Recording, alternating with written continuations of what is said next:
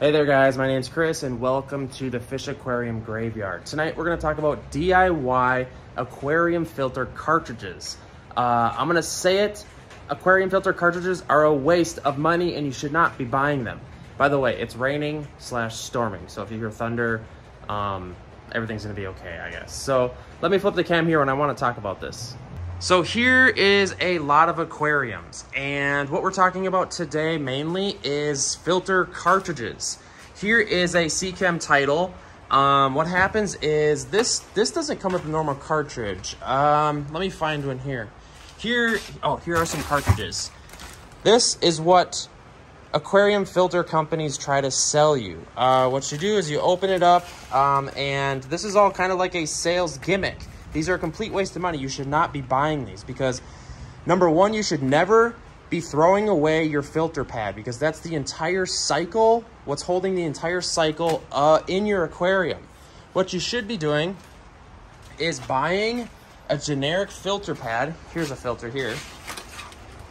Buying a generic filter pad and just like what happens is if you get on Amazon, I'll throw a link in the description box you just buy like filter pad generic foam padding like this and you cut it to fit in your hang on the back aquarium filter.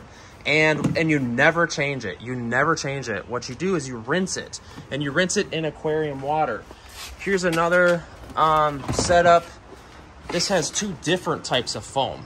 Ideally this would be like the best setup ever as you can see, I have aquarium filters and tanks everywhere. Um, I kind of have an issue with collecting them. So uh, here is a finer foam. See the foam? They call this uh, parts per inch, I want to say. It's 30, like 30 ppi is what they call this.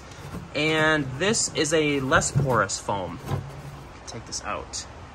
This is going to be your DIY aquarium filter cartridge. It's cheap and you never have to buy any again. See, this one's a little more coarse.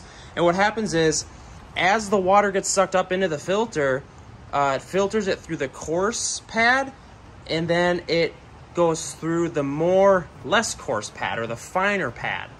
And it just goes in there like so. And you, you know, chances are you don't have some huge monster hang on the back filter like that. Um, let's go back over to the Seachem. What you can do is you can cut this foam pad to fit any size aquarium filter you have. And that's what I do on all of my filters. And that's what you should do too. What you do is you just cut it to fit. This is kind of a funky, uh, this would be a tough one to cut. It's better like when they're kind of like a square size. What the heck is that, a little bug? It's a little ant, weird. I mean, it's not that weird, but what I would do with this one is maybe cut it to fit in this spot right there See right there? And then I would maybe put lava rock back here. And then, um, uh, and then the lava rock would be your biological filtration while the padding is your mechanical. Padding is mainly mechanical. It can also be biological once it grows some bacteria.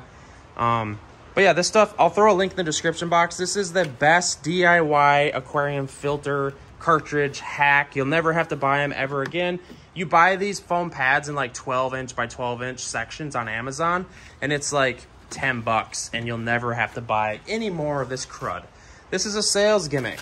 Like, for, for real, these Aquatech filters they used to sell at Walmart, complete garbage. And they're like, oh, just continuously keep buying them and just put them in your filter. Garbage. Uh, I don't even know why I have these.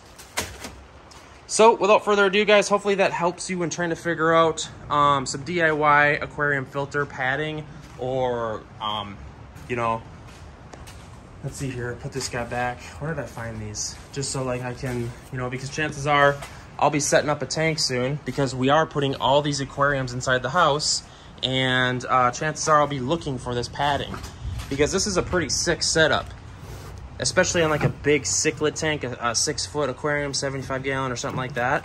This is a perfect situation for me right here. These are kind of a pain to get in there. And how you know when the filter pads clog or start to clog and need to be cleaned is by your water flow. When when you're when the flow starts filling this over overflow, they actually call this an overflow. So when the padding is clogged, the water just goes up in here and it runs over these right here. So and that's when you know when to clean your filter pad. So without further ado, guys, hit the like button. Hopefully this helped you. I know it's kind of a weird on-the-go video. I just happened to be out here and someone messaged me, and I'm like, man, I should do a quick video on this. So, don't mind the mattress. Trailer Park Boys, for life.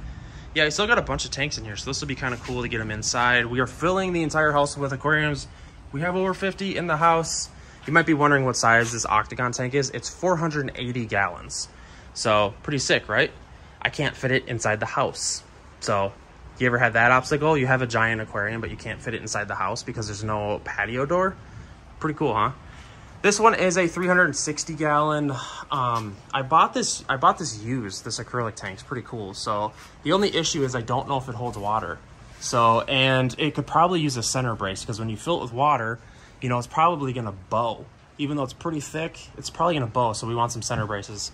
All right, guys, without further ado, I'm gonna go on inside and do some uh, other stuff. So yeah, hit up the hit hit up the comment section. I want to hear what you think. Um, yeah, because if you have any issues with your filter and your filter pad, hit me up in the co comment section. I can't speak. I gotta go.